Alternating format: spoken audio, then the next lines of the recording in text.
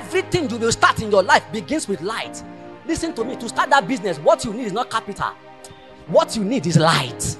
Harvard School taught you that anytime you want to start any project, what you need is capital for whom to produce, what to produce, and where to produce. I'm come to sh- I'm here to show you a root shock. You can have what to produce, you can know for whom to produce, you can have all the money and the capital. In fact, you can have all the connection, but life will show you that you need more than connection, you need more than capital, you need more than men to produce God kind of results. If it is God kind of results you want, everything begins with light.